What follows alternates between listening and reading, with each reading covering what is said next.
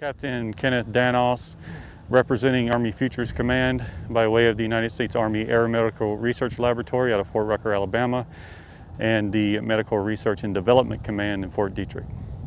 Right, Sergeant First Class Wayne Irion, representing Army Futures Command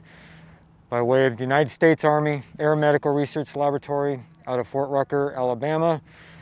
and representing Medical Research Development Command out of Fort Detrick, Maryland.